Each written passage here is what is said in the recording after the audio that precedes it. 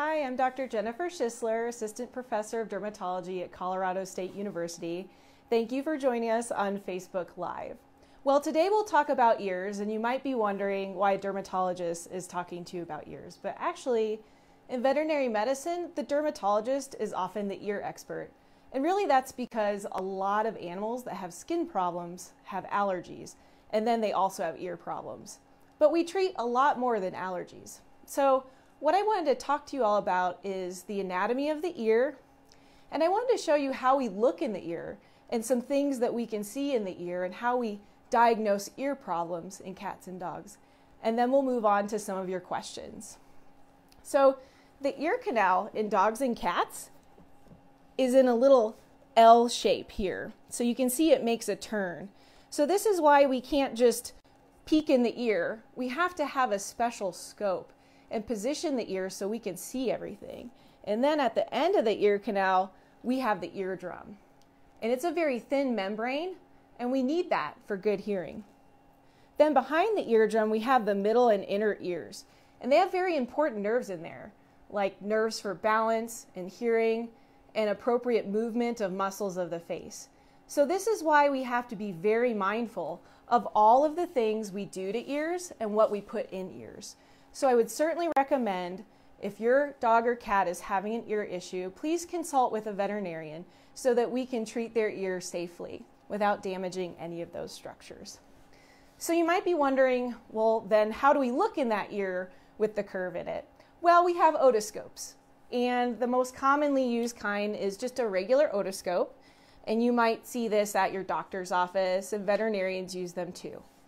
And they're quite effective, they do a good job. Um, what we're very privileged to have here at CSU is a video otoscope. And the video otoscope allows us to capture very high resolution images and videos, not only for educational purposes, but it helps us follow our patients and know what's going on. So we very we feel very privileged to have this type of equipment here. And you're going to see some images that we can generate from that equipment in just a moment. So the first video I wanted to show you is how we look in a dog's ear. It really takes a lot of experience to basically restrain that patient appropriately. But once you do that, you just need to look in there for a few moments, take some images with our otoscope, and we're good to go. So Maya is a black lab that we were looking at, and she's very wiggly. Um, but we were able to very carefully look in her ear um, with just a little bit of minimal restraint. Okay. So, what I'd like to show next is a picture of what we saw in Maya's ear. And so, when we looked in her ear, we noticed that she had a little more wax than she should. Um, and so, we can get some really nice images of that. And what would be good for us to do with that waxy ear is to take um, some samples under the microscope. But that ear looks pretty good. Well, there's some more interesting things than we can find in there. Um, the next example is a video of a cat. Um, and this kitty cat was found by my technician. She found this cat as a stray, and he was scratching his ears and shaking his head. And so we used this scope uh, to look in that ear, and what we found was quite interesting, especially for those of you who like fascinating creepy crawlies. So, in this video, you can kind of see at the bottom of the ear canal these little white mites moving around and living their life. And gosh, I can only imagine how that might feel for that cat and what it would sound like. But the good news is there's a lot of ways we can safely treat that um, and effectively treat that. So that's the good news. If we can, I'd like to move on to another video. Speaking of creepy crawlies, well, this is a little dog. He's pretty young. He's indoor, outdoor, and he was scratching at one of his ears. And so we used this scope while he was awake to look in there. And we found this whitish, grayish round thing in there when we looked. And so we had him under deep sedation. We used forceps and we took this thing out. So he was perfectly still, and it was a big old ear tick that sometimes we'll have in the Western United States. So that was very satisfying to remove. Um, and for that, he definitely needed to be under deep sedation because we don't want to hurt his eardrum. So that was pretty, that was pretty fun. Um, the next image is more consistent with what we find on a regular basis. It's an image of an ear with allergy that's kind of red and has some wax in it. That's really common in dogs and cats. And sometimes when they have this, they're itchy on their skin too. Um, so a lot of these patients that have the ear allergy also have bacterial or fungal infections as well. So that's really common. That's most of what we do um, is that image. Now in Colorado, um, we have a lot of different grasses outside on the prairie. And so what we frequently see often in summer and fall around here are grass-awns or grass seeds from a type of grass called cheatgrass. And they have these little pokey seeds and they can sometimes work their way in the dog's ear and go all the way down and rest up right by the eardrum.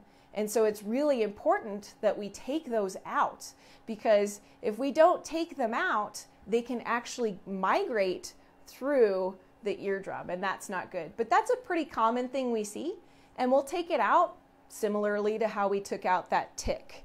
Um, perhaps not quite as satisfying, but still, still pretty good. And then our very last image is of a polyp, which is a round, um, fleshy mass that luckily for this dog is benign. And so we could actually cure this problem um, for this patient by removing that with our scope and our instrument. So that, that was great. So as you can see, there are many things that can go on in ears of dogs and cats. And they often show the same signs. So they can have itching and head shaking and material coming out of the ears and redness of the ears. Sometimes, if it's really bad, they might be head tilting or dizzy or circling. And so, those are some signs of worse infection. Obviously, if you see anything like that in your pet, they should see a veterinarian. But interestingly, all those things look pretty similar from the outside. So, that's why we need to look in there. And as I mentioned before, the other thing we do to help figure out what's going on is to safely place a cotton tip applicator into the ear canal. And then we take that material and we look at it under the microscope so that we can see what's going on, if there's an infection secondary or not. So, this first image is bacteria that we found in the ear under the microscope. And all the little purple dots that's a bacteria that shouldn't be there. And so that helps us make decisions on what medication that we're going to put in the ear. The next picture is of yeast, also very common, sort of peanut shaped or um, footprint shaped. And again, this can happen secondary to any ear problem. And it, seeing that helps us decide which medication to pick. And the last one, my favorite, are little ear mites. And so if we're using this scope, then um, that's the way we're going to find those ear mites. We're going to take a sample of that wax, look under the microscope, and they're just moving around like crazy in there. So that always gets a lot of attention with that. So I hope you have enjoyed the, these images so you can start to understand the things that veterinarians can offer to help your animals so we can make um, educated and safe choices of how to treat problems in your dog or cat's ear. So I'd like to move on to some questions that were submitted um, from the audience. So thanks again for submitting those questions and uh, trusting me with these answers. Just keeping in mind though, although I'm a veterinarian, I can't diagnose or prescribe anything um, from this um, type of venue, but I hope that you can take this uh, information moving forward and have a discussion with your vet. So the first question is from Mary. So Mary asks, My dog Sam seems to be bothered at times with itchy ears. I don't see anything abnormal in his ears. Um, what, if anything, should I look for to know if his itchiness is abnormal? He's a Basset Hound Springer Spaniel mix, which makes me smile because that's got to be a really cute dog, perhaps with giant, giant ears. So Sam's probably pretty cute. Um, well, I think a little bit of head you know, shaking and ear scratching is normal if it's very brief, intermittent, and infrequent. So, you know, once or twice a day, probably not an issue. when we start to become more frequent with that, when you see redness of the ear flap, stuff coming out, for sure that's abnormal. But if you have any questions or concerns, of course, your veterinarian can look. And that's something they could do at a general exam visit, or I would make a special visit if he's doing this a lot, just so we don't miss something like a grass seed or some yeast down in there that we can fix for, for Sam he certainly probably has a lot of real estate down in those ear canals where stuff can happen. So it would be good um, to find out. Okay, the next question was submitted by Carly, and she has a very detailed question. I think that represents a lot of patients that we see in our service. So thank you for that question. So Carly has a black lab who's had atopic dermatitis. That's environmental allergy, usually of the skin. She got him at three and he's been constantly licking his paws and he's getting ear infections over and over and he's gotten treatments with um, prescription ointments that are good ones she's also switched his food many many times but it seems like nothing's helped um, they recently did a Cytopoint injection with, which lasted for about two months and she wants to know are these injections worth it and what else can she do so this is this is a great question. We see so many allergies in dogs and they get ear infections very frequently. So let's sort of unpack the different pieces. So um, your dog definitely has allergies from what you're describing. The foot licking, the ear issues, very consistent with that. And I know a lot of people in your position, they try different foods to see if their dog will get better. And it can be pretty confusing because if you go to the pet store, they'll recommend this or that or this. And to be honest, it's really hard, I think, to diagnose a food allergy with, pres- with non prescription um, foods. And that's because these foods often have common ingredients. So when we're trying to diagnose a food allergy as a cause of ear or skin issues, we want to really try to pick a diet that doesn't include anything they've had before. And then we know they need to be on it for at least two months and be very particular about everything that goes in their mouth. So that is actually the best test for food allergy, not any blood test or anything like that. That's the best test. Um, so the best way to do that test is to actually have a veterinarian look at the foods that um, that your dog's been eating and treats, and to pick a prescription diet trial food that doesn't include any of that. Um, and then we will have your pet on that food for at least two months. And we like prescription because those foods are made on equipment that only makes that food. Because remember, allergy happens when they only get exposed to a little bit of something. So we want it to be as strict as possible. And then we'll know for sure if they're food allergic or not. And that could be really important for you guys because if he's actually food allergic, you might be able to cut out all this other stuff moving forward. Um, so I would certainly encourage you to kind of uh, reopen that dialogue with the veterinarian, um, or if you haven't talked about it already, and kind of decide if you'd like to engage in that. Um, that also being said, um, you mentioned Cytopoint. So for the audience, Cytopoint is an injection for dogs, and it's an injection that treats itch and dermatitis. Um, and it actually works for many different kinds of allergies to treat those symptoms. And it's most appropriately used, in my opinion, if we're going to use it long term, it's a good idea to use it long term in an environmental allergy patient. And if they're food allergic, then they can come off of it. So, so number one, um, as far as whether or not it's worth it, from a medical standpoint, um, if it's working well, and um, and it's giving your pet relief, that is great. From a medical standpoint, it is quite safe. Um, so we don't see a lot of side effects with it. We uh, published a study here about that. A lot of dogs respond to it and don't have any issues. So so I like that as an option for treating symptoms.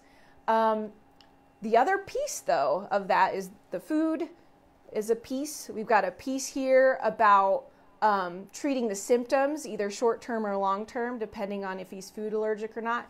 The third piece is just realizing that um, with the ear part of allergy, sometimes the medications we use for allergy in general don't don't treat that as well.